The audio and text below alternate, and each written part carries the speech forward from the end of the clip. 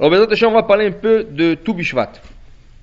Alors, Toubishvat, c'est la, la, comment expliquer, c'est la fête des arbres, c'est le, début de l'année des arbres, c'est à partir de là qu'on compte la Orla, les trois ans d'un arbre.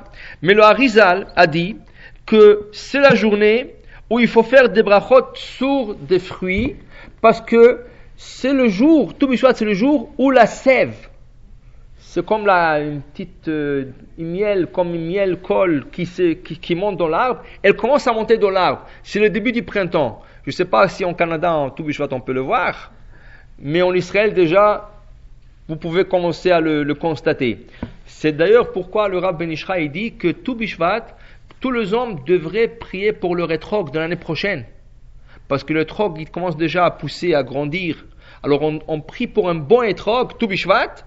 Il a instauré même une prière parce que c'est le jour où la sève, elle monte dans, dans le étrog et tous les arbres. Maintenant, le Harizal disait que le jour du Toubishvat, il faut essayer de faire des brachot sur 30 fruits. Les Ashkenaz disent 15, mais la Risa il disait 30. C'est très facile. Si vous allez sur le marché, vous commencez à acheter des pommes, poires, euh, amandes, euh, arachides, euh, n'importe quoi, c'est très facile. Mais le Harizal, il a divisé les 30 fruits en trois catégories. Première catégorie, 10 fruits. Il faut avoir à table 10 fruits qui sont complètement un fruit.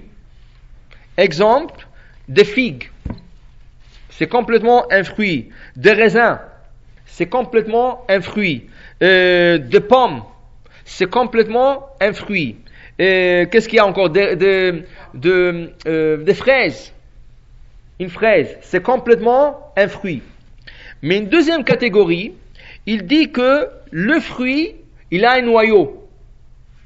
Alors par exemple, vous avez des olives, ils ont un noyau. Vous avez de, des dattes, ils ont un noyau. Euh, des cerises, ils ont un noyau. Alors il dit, vous achetez 10 fruits qui, qui sont complètement un fruit, comme des raisins, des fraises, 10 fruits qui ont un noyau à l'intérieur, et 10 fruits qui ont une, une, une écorce ou une, une, une, une épluche.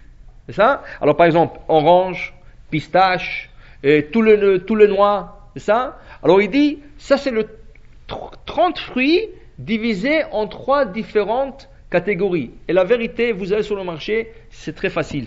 Très facile à trouver. Oui, mais c'est très, petit. C'est très, pas un noyau. C'est des, graines. C'est des pépins. C'est des pépins. Mais c'est pas de, comment? Oui, mais c'est pas un noyau. C'est pas un noyau comme, comme les autres. Maintenant, si vous faites tout bishvat en famille, vous avez le père, la mère et le, garçon et les filles. Dans ce cas, il conseille que le père, vous savez qu'une fois que vous faites une bracha, vous ne pouvez plus répéter la bracha. Alors que le père, il fasse la bracha sur le, tout ce qui est de la farine. Par exemple, maisonnote. Pourquoi? On dit le matin, De la meilleure récolte de, la, de, de graines de blé, Akosh te rassisera. Qui veut dire, on parle ici de la parnassa d'une personne. Et le, père, c'est lui qui doit porter la parnassa. Alors, lui, il doit faire la bracha sur maisonnote. Ensuite, la femme, elle fera la bracha sur des raisins. Pourquoi? Comme dit David gefen poria Ta femme, c'est comme une grappe de raisin dont on demeure. Alors, dans ce cas, la femme fera la bracha boré sur le raisin. Les garçons, ils vont faire la bracha sur les olives. Parce que dans le même verset, c'est écrit Banecha. Tes enfants sont comme les plantes des olives. Et les filles feront la bracha sur la grenade, si possible, si on trouve une grenade, ou sur les noix. Pourquoi? Parce que ça cache. La noix est cachée par l'écorce ou le grain de grenade sont cachés par le, corps aussi. Alors dans ce cas, la peau de la grenade. Dans ce cas, la fille, où est-ce qu'elle doit être? À l'intérieur de la maison. Alors ils vont faire une bracha sur un fruit qui est interne, qui est interne de l'écorce. Maintenant, les enfants, les petits-enfants, feront la bracha sur la pomme avec du miel. C'est ça, la pomme avec du miel. Pourquoi? Parce que le miel, c'est la Torah. Le miel, c'est ce doux. Ça, c'est si on le fait dans une famille restreinte. Ça veut dire dans une petite famille il y a le père, la mère et les enfants. Mais nous, on essaye de faire Toubishvat en grande famille, ça veut dire dans une communauté. Pourquoi? Parce que s'il y a 30 fruits et beaucoup plus, on essaye de donner à chaque fruit sa bénédiction. Parce qu'une fois que tu as fait Boré sur le raisin, ou sur la date, ou sur n'importe quel autre fruit dans la table, c'est fini, tu ne peux plus reprendre, la bracha. Mais si tu as plusieurs personnes, chacun, il peut prendre un fruit différent et lui donner une bracha. Tu peux avoir 100 fois Boré S'il y a 100 personnes, 100 personnes peuvent faire Boré sur 100 différents fruits. Tu peux avoir 100 euh, personnes faire Boré Adama sur 100 différents fruits de, de, la terre, s'il y a.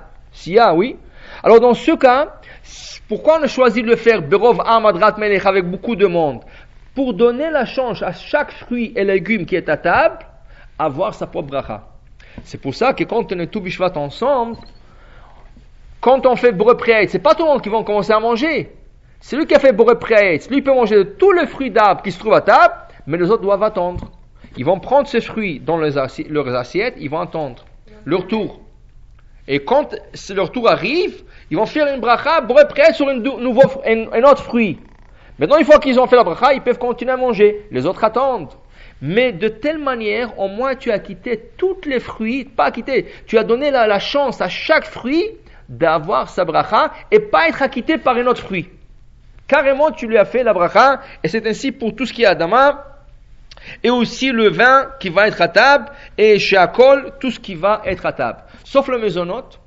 Les maisonnotes, il y a un seul maisonnote. Alors tous, on peut faire ensemble, boré, miné, maisonnote, et on mange le gâteau et le, biscuit, tout ce qu'il y a à table. Mais à partir du Etz et Adama, ça ou chez Akol dépendamment, là on va attendre un à l'autre, et on va remplir l'assiette jusqu'à ce arrive notre tour pour faire une bracha, pour acquitter tout le reste de, de fruits.